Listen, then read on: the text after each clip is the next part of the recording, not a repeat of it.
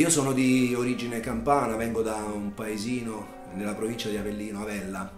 e la mia attività compositiva degli ultimi anni è volta anche alla valorizzazione scusate, eh, di quella che è appunto la mia terra, la mia campagna Felix. E vorrei citarvi a proposito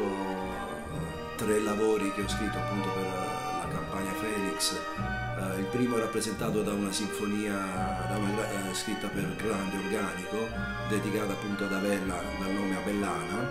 e il secondo lavoro invece sono quattro visioni, è rappresentato da quattro visioni per piano solo uh, presso il vecchio castello di Avella. anche questo lavoro è dedicato appunto al, ad un maniero storico di origine longobarda che abbiamo in paese e il terzo lavoro della trilogia Campania Felix è invece dedicato ad una leggenda della costiera malfitana, sul sentiero degli dei, rappresentato da un melologo, eh, ispirato appunto ad una leggenda dei due scogli, due,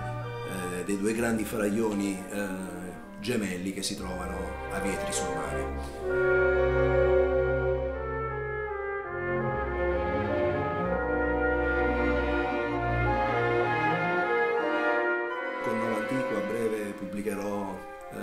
Mio ultimo lavoro che è rappresentato dalla stanza dei burattini, eh, una suite che nasce eh, per pianoforte e che verrà pubblicata esclusivamente in vinile, oltre ovviamente alla distribuzione digitale. Eh, quindi il primo lato del vinile conterrà la parte pianistica e poi invece sul secondo lato avremo una orchestrazione per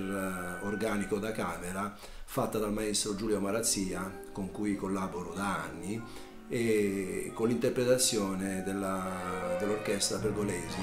una nuova, una nuova entità, una nuova realtà della scena milanese.